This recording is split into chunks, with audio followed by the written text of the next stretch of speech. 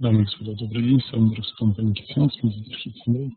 Сегодня один из наших заключительных брифингов краткосрочный. Наши аналитики приходят в текстовый режим, поэтому общением мы с вами будем наслаждаться в онлайне, офлайне, вот, да, в текстовом виде.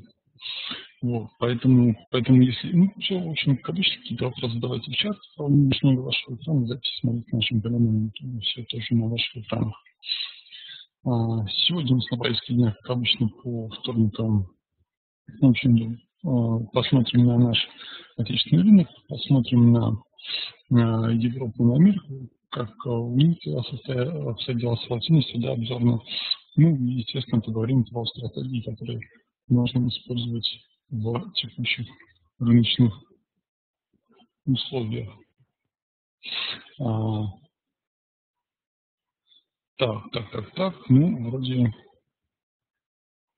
вроде по регламенту все сказал. Давайте перейдем к, к рынку непосредственно. Да, американцы, кстати. Кстати, Америка у нас растет, ну, а, скажем так, на, на максимум с прошлой недели. В общем, индекс волатильности на на таком спокойном рынке VIX у нас в районе 16,5% годовых, что, в общем-то, не предвещает пока ничего а, плохого, но, тем не менее, на покупку путов, я считаю, сейчас очень хорошее время. Да, опять же, поскольку ну, ситуация несколько схожа с тем, что было с тем, что было у нас в середине июня, когда рынок чуть отскочил от своих максимумов, да, волатильность припала примерно на те же уровни, но в дальнейшем у нас было и движение, и фактический рост волатильности, и а, рост волатильности ожидаемый. Сейчас тоже очень похожая ситуация. Не видно пока, что у нас а, есть какие-то намеки на дальнейшее продолжение роста, все-таки вроде закрепились на, на этом уровне. В следующей неделе у нас начинается сезон а, отчетности, поэтому ждем новых данных уже с корпоративных с корпоративного э, в общем в компании. А, напоминаю, что завтра Америка у нас отдыхает, у них Independence Day 4 июля. Ну и, в общем, на этом фоне вполне можем остаться на прежнем уровне. Хотя э, сегодня у нас два мероприятия. Первое – это выходки ATP, предварительные данные по безработице. А, да, основное мероприятие, данные по безработице. А, и, соответственно, PMI также сегодня у нас должен выйти по США. Поэтому перед Днем независимости можем, а, может что-то произойти. Вот, но, в общем-то, да, под покупку физической волатильности, как я уже сказал, очень хороший, очень хорошая ситуация. Рынок спокойный, ожидаем волатильность относительно ценовых уровней достаточно низкая. Это раз. Номер два. Волатильность Европы. Волатильность Европы у нас сегодня растет. Но, как видим, растет не, не криминальными темпами. То есть э, по Европе у нас по индексу Евростокс 50 ожидаемая волатильность находится ну, практически на уровне российского рынка, 22,5%. А, при этом да, динамика тоже очень схожа с Россией.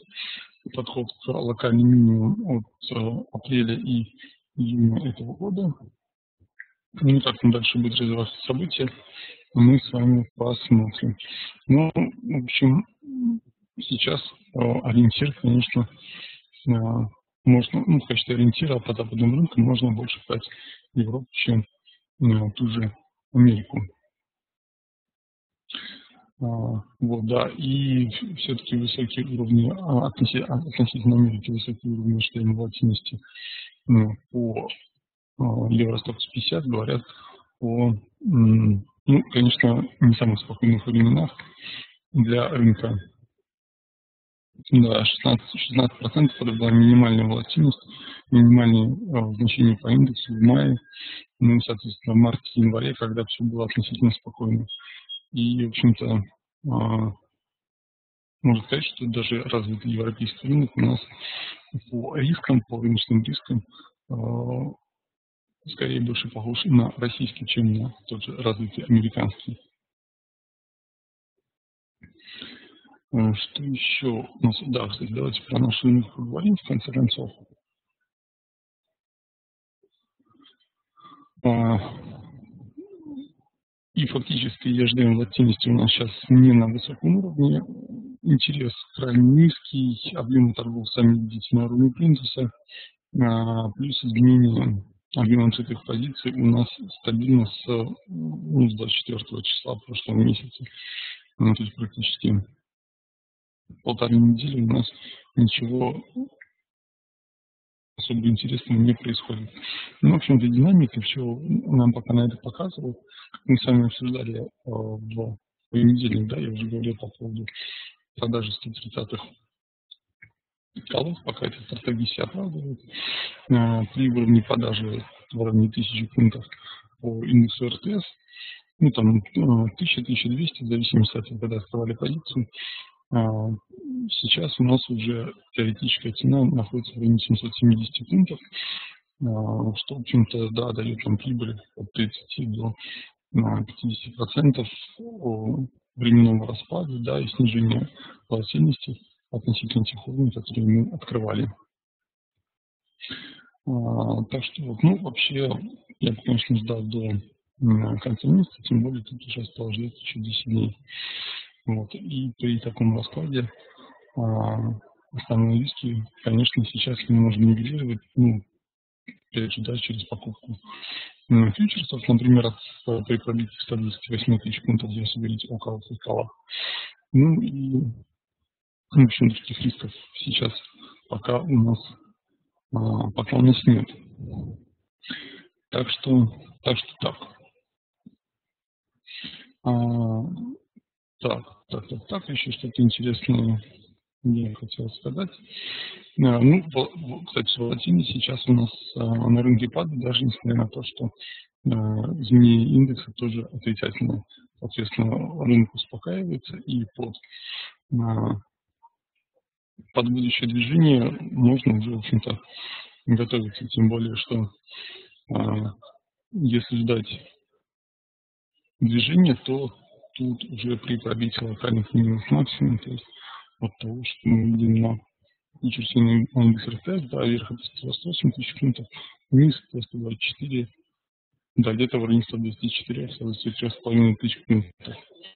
Вот от этих уровней при пробитии значений уже можно а, входить в рынок, собственно, покупать волатильность а, с помощью фьючерсов, ну а потом добавлять опционы для того, чтобы формировать какие-то синтетические а, синтетические позиции. Поскольку если прорыв будет сильный, то, в общем-то, нормально войти с помощью опционов будет проблематично. Поэтому, как обычно, рекомендую сначала делать все фичами, а потом уже догоняться с помощью опционов. Вот. А, так, так, так. Ну, в общем, все из а, полезных мыслей, пожалуй, все. Следите за обновлением на нашем сайте, новый формат аналитики будет в ближайшее время. Все, всем спасибо за внимание. Удачной торговой, торговой недели. С вами был Архип Андрей. До свидания.